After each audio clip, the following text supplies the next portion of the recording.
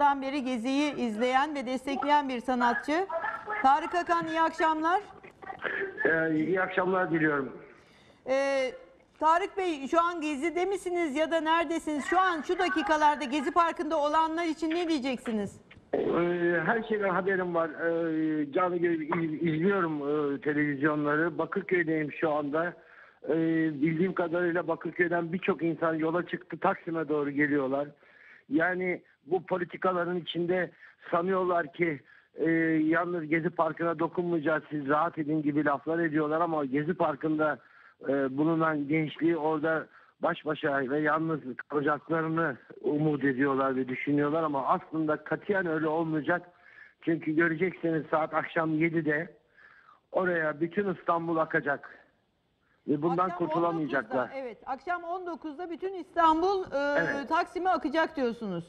Evet, evet, evet. Bundan bundan hiçbir şekilde e, Başbakan Tayyip e, kurtulamayacak. Geri adım atmadığı müddetçe bu sonuna kadar devam edeceğine inanıyorum. Evet efendim bu burada bitmeyecek diyorsunuz. Bu, bu kadar tek Hayır. taraflı ve e, sınırsız bir saldırı karşısında. Peki Yani Tarık dünyada dünya yani dünyada hiçbir başbakan bu kadar e, e, e, ısrarcı olamaz, olamamıştır, olmamıştır. Bir örneği yoktur. Yani oraya bir gezi parkı yapmayacağım diyecek. O binayı yapmayacağım diyecek. AVM'yi yapacağım diyecek. Hepsi hepsi bu.